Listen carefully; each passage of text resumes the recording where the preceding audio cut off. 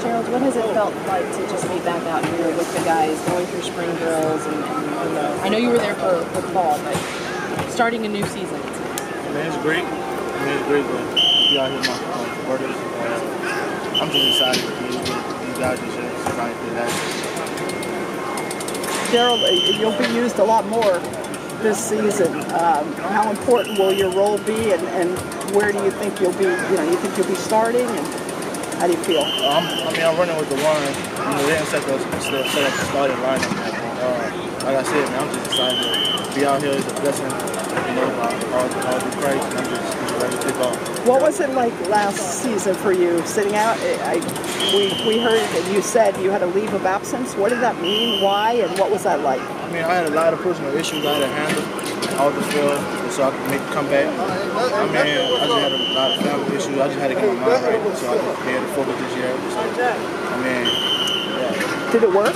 Yes, that's man, it worked a lot, man. I'm, I'm a changed person. I'm a changed man. I changed, I changed a lot of ways I used to have. I mean, I'm a, I'm a better person and I'm starting to become a better player. In what ways specifically did you change? Have you changed? Uh, just being more active, being more talking to my teammates, just having better relationship with people around the building and stuff like that. You talked a little bit about the relationships. Can you share some of the support you got from your teammates and coaches as you uh, it was, it was great, great support. I mean, when I first got back, we had a team meeting. I came in and everybody got on their feet. Now I just felt so welcome and felt so great to be back. When did you rejoin them and kind of move on to the scout team? Uh, right before fall started last year. Okay. Yeah. You Mark Richt called you, quote, a terror on the scout team. What do you think he meant by that? I mean, I just made plays. I mean, I just try my best to be the big, the big man in the middle and you know, make plays.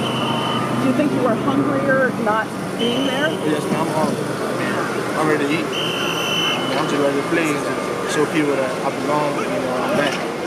What?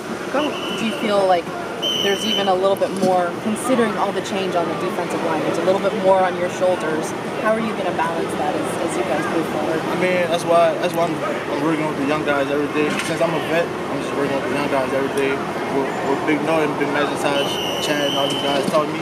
I'm putting it on the young guys so you know, we have a better season this like year. Should there be concern about the D line, you know, with the losses, or do you think you can do the same things or even better than last year? I think I think we can do better than last year. We're no concern about the losses because we keep working every day. Coach Sampson teaching us new things that Coach Cruz didn't, and it's just a lot of new things. I'm starting to love how he's coaching us and stuff like that. Jared, a couple, a couple seasons ago, I guess when you played a little bit, did you have a knee injury or you had some kind of injury? That's I'm my head. remember. That's my head of the injury. I took my MCL and um, Your Florida MCL? State. Yeah, MCL in Florida State game. And how did that affect the rest of the season? Did Uh, I had missed like three games. We came back to rest. I I well, 40 hours had surgery. after that season. oh, after the season, how much better is that knee It was now? 100. percent Which, which one was it, right? Yeah, I think uh, I like it. Yeah. Okay, and how is it different here than, I mean, it's been so long ago that you played for Florida. Is this totally home for you, and how's it different and why? Man, I love the environment. It's a lot more sun, sunshine. It's a city. It's a city. It's not a college town. And you have a lot more stuff to do outside of football. But I just love, I just love the community. I just love my teammates. I just feel more comfortable. Also, what's your height question. and weight now, and your physical your height and weight compared to last season? Uh, last year I was 285, uh, 6'2", 6'3", 6'3", uh, 295 this year. Thank you, Joe.